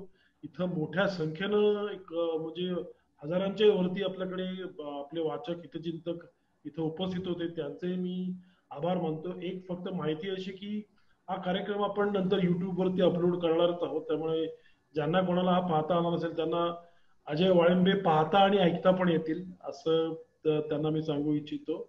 आणि धन्यवाद. मला एकच सांगायचंय सिद्धार्थजी. प्लीज प्लीज एकच गोष्ट की जसं तुम्ही म्हणालात की गुंतवणूक जी पर्सेंटेज म्हणजे जे थोडं संयम राखावं वगैरे वगैरे. बऱ्याच जणांचं एक असं मत असतं की आपण जसे म्हातारे होत जातो त्याप्रमाणे शेअर मार्केटमधली गुंतवणूक कमी करायला पाहिजे. म्हणजे काही लोक वयाचा फॅक्टर लावतात त्याला. की तुमचं वय साठ असेल तर तुम्ही साठ टक्के इन्व्हेस्टमेंट स्टॉक चाळीस टक्के इन्व्हेस्टमेंट म्हणजे हंड्रेड मायनस सिक्स्टी असं.